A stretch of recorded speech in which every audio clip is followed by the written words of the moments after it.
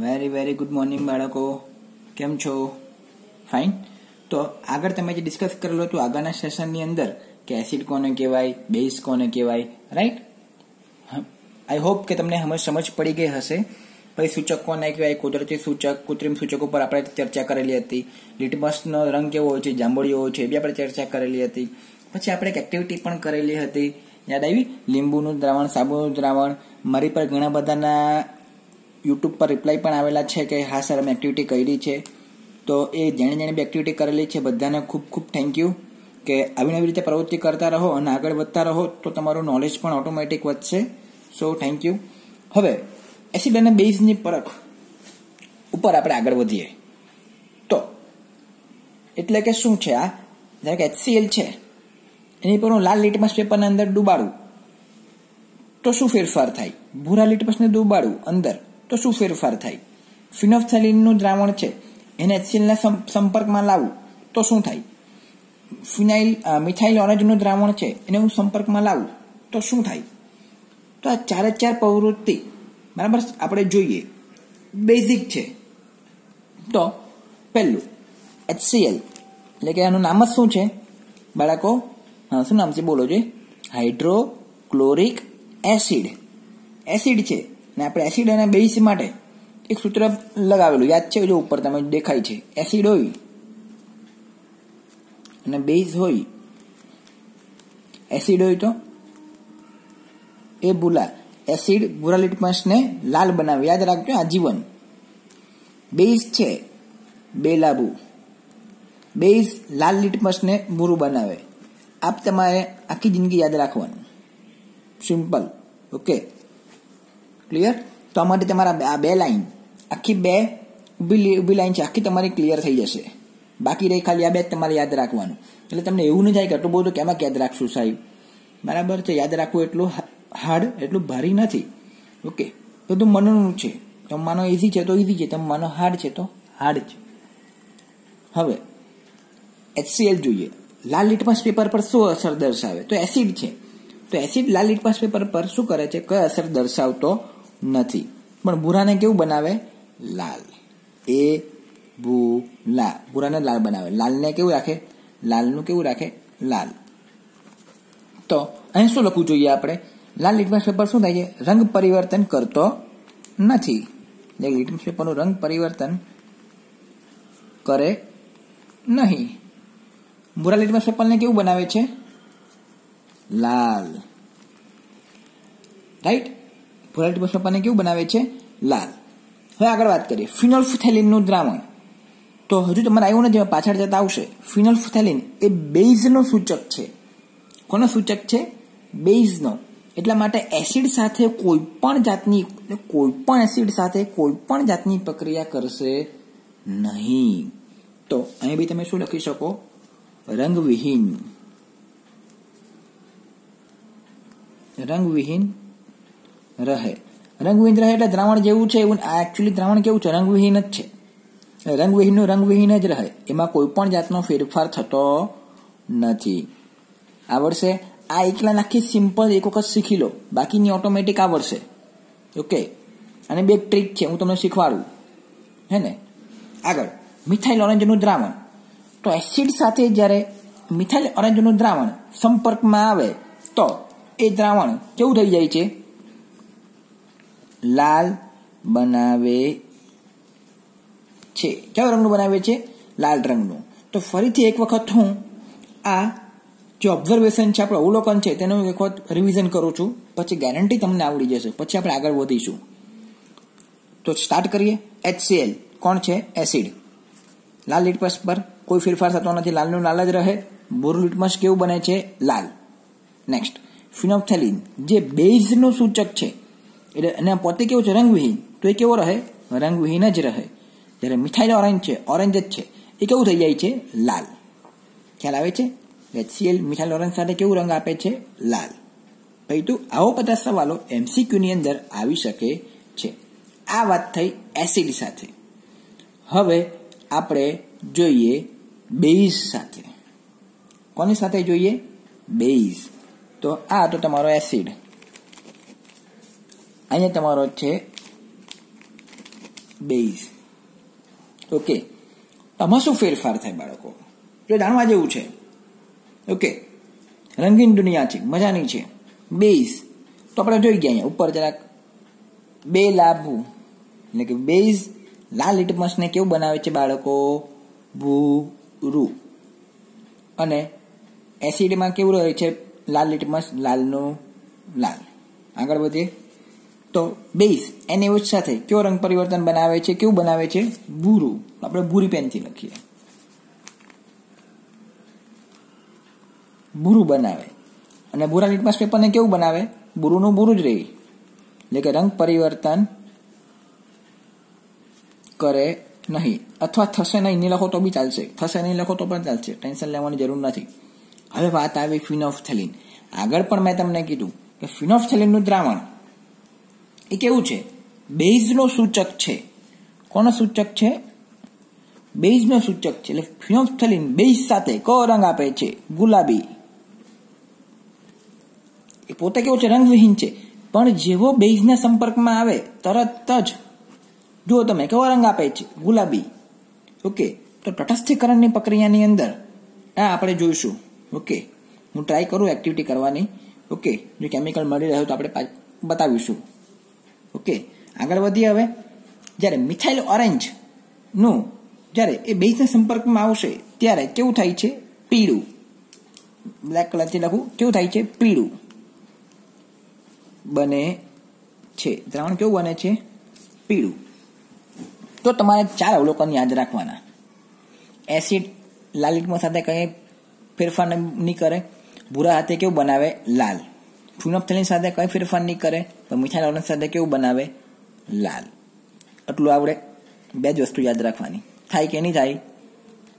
Yes જો આવડી જાય, તમને ઇઝી લાગે, તો કમેન્ટની અંદર યસ લખવાનું છે. એટલે મને ખ્યાલ આવે કે નહીં. મારા સ્ટુડન્ટ લોકોને હંડ્રેડ પર્સન્ટ ખ્યાલ આવી ગયો છે ને. એકચ્યુઅલમાં ઇઝી જ છે. ગભરાવાની જરૂર નથી.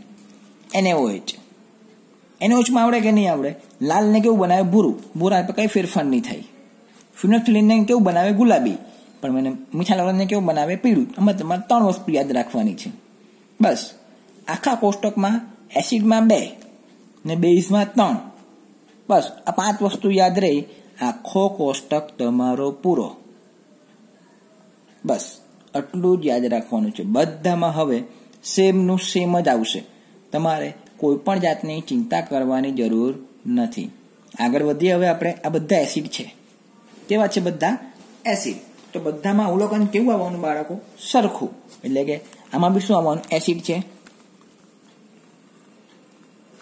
રંગ પરિવર્તન કરે નહીં. અહીંયા બી શું આવશે રંગ પરિવર્તન કરે નહીં. સેમ રંગ પરિવર્તન કરે નહીં. બધા એસિડ દુનિયાનો કોઈ બી એસિડ હોય. પ્રબળ હોય કે નિર્બળ હોય. શું કરે? ભૂરા લીટપસને કેવું બનાવે છે? લાલ. ભૂરા લીટપસને કેવું બનાવે? લાલ. એ કોઈ બદલાતું નથી. લાલ બનાવે. ઓકે. બીજું ફિનોફથેલિનનું દ્રાવણ. એ કેવું છે? બેઝનો સૂચક છે. ને એસિડ સાથે કોઈ પણ જાતનું પ્રક્રિયા કરતું નથી. એટલે દુનિયાનું કોઈ બી એસિડ હોય. ઓકે. એ કેવું રહે? રંગવિહીન. આ ફિક્સ છે. કેટલું ઈઝી છે. જો પણ એટલો મોટો કોષ્ટક જોઈને આપણને એવું લાગતું, આ સારું કેમાં યાદ રાખશું આપણે? હે ને? પણ હવે તમને લાગે ને એકદમ સહેલામાં સહેલું છે. જોયું? બીજું, મિથાઇલ ઓરેન્જ સાથે એસિડ કયો રંગ આપે? લાલ બનાવે. યાદ રહેશે? આ એસિડની વાર્તા પૂરી.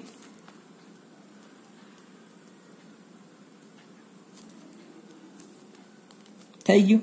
બેઝમાં સેમ જે એક અવલોકન આવ્યું, એ અવલોકન પ્રબળ એસ પ્રબળ બેઝ હોય કે નિર્બળ બેઝ હોય? બધામાં કેવું રહેશે? સેમ સમાનનું સમાન જ રહેશે. ઓકે તો હવે આપણે જોઈએ અવલોકન. ઓકે ફાઇન એને હોય જ છે. એ આપણને ખ્યાલ છે, બાળકો. હમણાં આપણે જોઈ ગયા. ઉપર લાવીએ જરાક. બેઝ બે લાભો લાલ લિટમસને કેવું બનાવે છે? ભૂરું. તો લાલ લીટમસ છે અહીંયા. એને કેવું બનાવશે? ભૂરું. તો બધામાં જ. જેટલા બેઝ છે તે બધા કેવું બનાવશે? ભૂરું buru. Buru. ભૂરું આ પાણી આવી ગયું હવે નીચે નહીં લખવું બસ. બુરુ બનાવે. આગળ. ભૂરા લિટમસને રંગ પરિવર્તન કરે નહીં. એસિડ લાલ બનાવે. પણ બેઝ કેવું રહે છે? રંગ પરિવર્તન કરે નહીં. તમે બી લખતા રહેજો. હાથે હાથે. ઓકે, લખેલું યાદ રહેશે. જોયેલું ભૂલી જવાશે. હે ને? મેં હોશિયાર છે એમ તો, વાંધો નથી. ચાલ, પહેલાં લખતા લખતા નીચે નહીં આવી જાય પાછું. બધું ધ્યાન રાખવાનું. ઓકે. બીજું. ફિનોફથેલિન એસિડ સાથે બે, એટલે મીન્સ બેઝ તો સૂચક છે, તો એસિડ સાથે રંગવિહીન રહે. પણ બેઝ સાથે કેવો બનાવે? ગુલાબી. યાદ રહી ગયું ને હવે તો? આ પાંચ વસ્તુ થાય ફેરફાર. અને મીઠા લોરન્સ સાથે કયો રંગ આપશે? પીળો.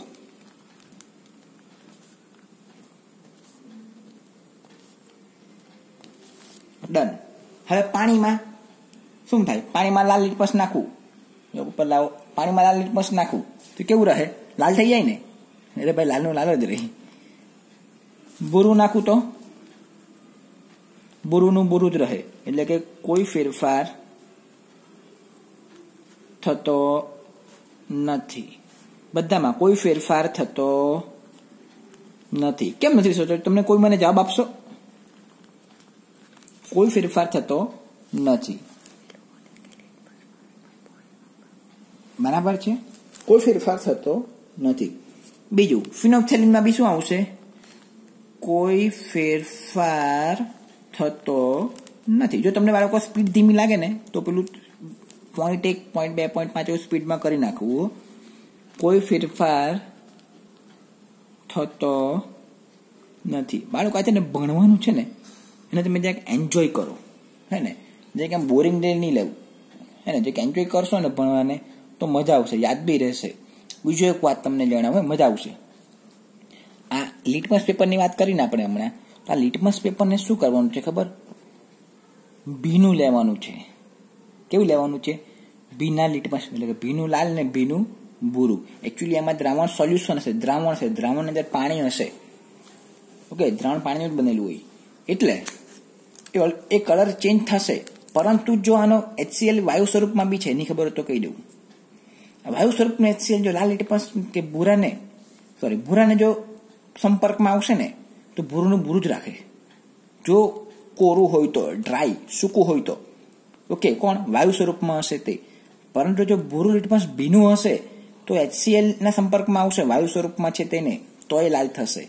આ બહુ ઇમ્પોર્ટન્ટ વસ્તુ છે, આ ચેપ્ટરની અંદર આગળ આવશે. ત્યારે આપણે ચર્ચા કરીશું ડીપમાં ડીપમાં ઓકે તો આપણે તમે જોઈ શકો છો, અને સ્ક્રીનશોટ લાવો તો સ્ક્રીનશોટ બી લઈ શકો છો. ફોટો પાડવો હોય તો ફોટો પણ પાડી શકો છો. તો એક સિમ્પલ આપણે શોર્ટકટ બનાવી દઈએ આનું. હે ને એસિડ માટે અને બેઝ માટે. એસિડ અને બેઝ એસિડ શું કરે છે? એક તો બુરાને કેવું બનાવે? લાલ. બીજું અવલોકન શું જોયું? મિથાઇલ ઓરેન્જ જે સૂચક છે. કૃત્રિમ સૂચક ભણી ગયેલા તમે, હે ને? એને કેવું બનાવે? લાલ. આ આટલું યાદ રાખો એટલે આખો કોષ્ટક યાદ રહી જાય બાળકો. બેઝ બેઝ શું કરે? લાલને કેવું બનાવે? ભૂરું. અને ફિનોફથેલિનને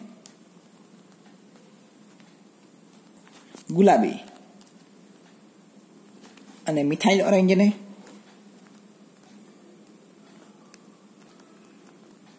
પીળું. એટલે આ બે ના ત્રણ. આ પાંચ એક્ઝામ્પલ તમે યાદ રાખો. એટલે આખું કોષ્ટક તમારું પૂરું. આજીવન.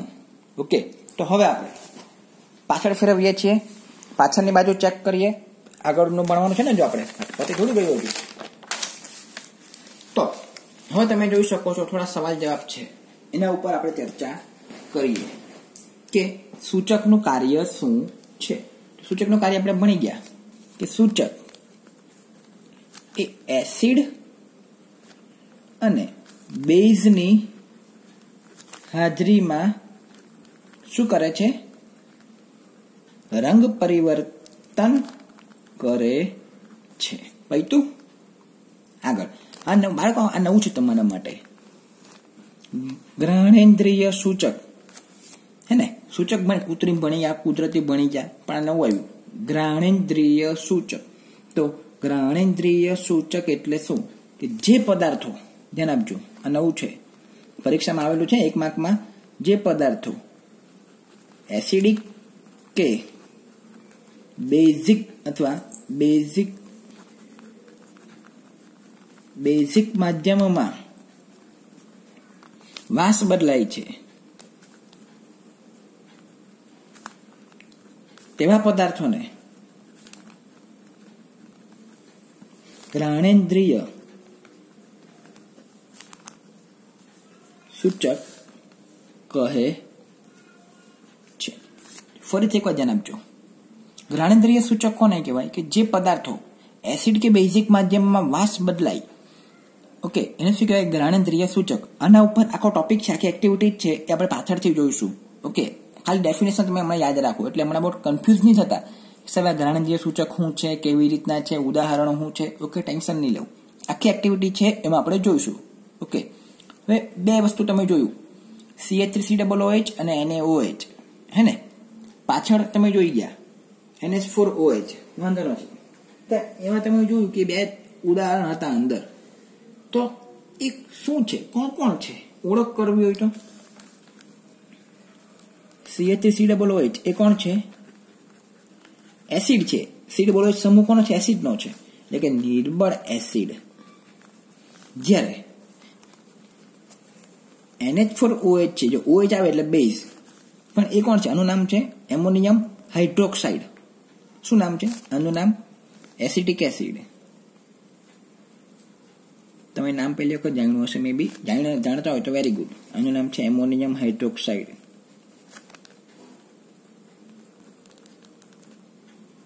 આ નિર્બળ એસિડ છે. જ્યારે ammonium hydroxide, NH four OH, એ કેવું છે? નિર્બળ બેઝ. ક્લિયર થાય છે બાળકો? વેરી ગુડ નિર્બળ એસિડ, નિર્બળ બેઝ. તો હવે થોડાક આપણે ઉદાહરણ જોઈ લઈએ. પ્રબળ એસિડ, નિર્બળ એસિડ. પ્રબળ બેઝ નિર્બળ બેઝના ઓકે. તો ખાસ ધ્યાન રાખજો. આ તમારે દસ અગિયાર બાર બધે જ આવવાનું છે. આ તમારો પીછો નહીં છોડે. એટલે તમારે શીખવાનું રહેશે રહેશે ને રહેશે. તો પહેલું, પ્રબળ એસિડ. તો પ્રબળ એસિડ એસિડ કોને કહેવાય? તો પહેલા આપણે ચર્ચા કરી યાદ કરો, પહેલા સેશનમાં. એટલે કે આની આગળનો સેશન હતો એમાં. એમાં એચ પ્લસની સાંદ્રતા, એસિડ કોની પર ડિપેન્ડ કરે? એચ પ્લસ ઉપર. અને બેઝ કોના પર ડિપેન્ડ કરે? ઓએચ માઇનસ પર એટલે એટલું આવડે, એટલે પૂરું. એટલે જેમાં એચ પ્લસની સાંદ્રતા વધારે હોય, એ પ્રબળ એસિડ જેમાં એચ પ્લસની સાંદ્રતા ઓછી હોય, એ નિર્બળ એસિડ ઓકે તો હવે આપણે એના એક્ઝામ્પલ જોઈએ. પ્રબળ એસિડ કોણ? નિર્બળ એસિડ કોણ? પ્રબળ બેઝ કોણ? નિર્બળ બેઝ કોણ? તો ત્રણ ત્રણ એક્ઝામ્પલ લઈએ દરેકમાં. પ્રબળ એસિડમાં પહેલું છે HCl એનું નામ છે હાઇડ્રોક્લોરિક એસિડ. નામ યાદ, નામ લખતા રહેજો. Hydrochloric acid. H2SO4 sulphuric acid. H N O three nitric acid. ડાવડતા હોય તો કોઈ વાંધો નથી. આ ત્રણ ત્રણ કેવા છે? પ્રબળ એસિડ નામ યાદ રાખજો. હવે બીજા. નિર્બળ એસિડની વાત કરીએ. H two C O three H C double H C H three C double H H two C O three એટલે શું કહેવાય એને? Carbonic acid. H C double H હવે આને શું કહેશો તમે? આને તમે મિથેનોઇક એસિડ બી કહી શકો.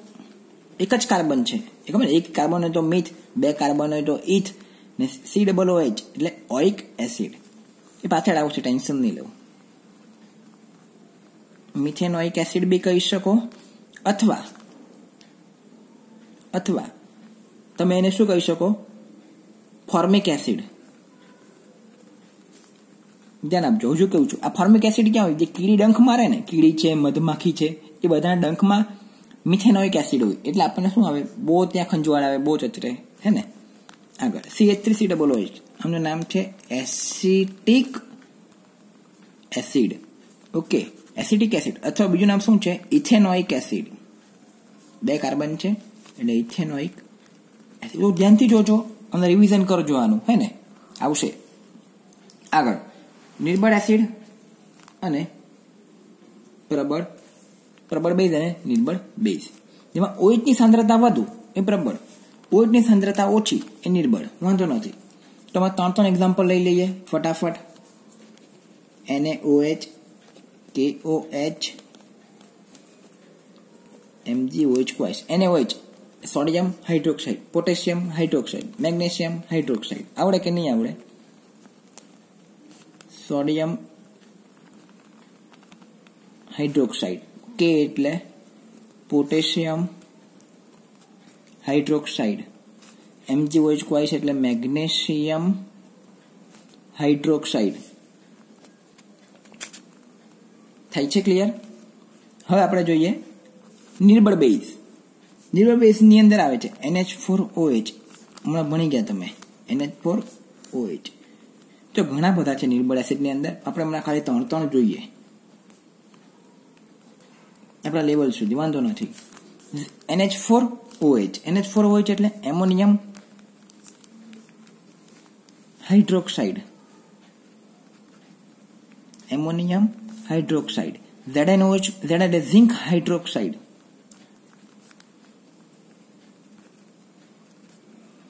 લખતા રહેજો બાળકો. ને એલઓચ થ્રાઇસ એટલે એલ્યુમિનિયમ હાઇડ્રોક્સાઇડ તમે જોઈ શકો છો બાળકો, આ ચાર વસ્તુ. પ્રબળ એસિડ, નિર્બળ નિર્બળ એસિડ. પ્રબળ બેઝ, નિર્બળ બેઝ. ઓકે. તો આનો સ્ક્રીનશોટ બી લઈ શકો છો, ઉદાહરણ બી લખી શકો છો અને ઉપર તમે ત્રણ ત્રણ એક્ઝામ્પલ પણ આપેલા છે. આ ક્વેશ્ચન આન્સર બી આપેલા છે, એ બી તમે જોઈ શકો છો.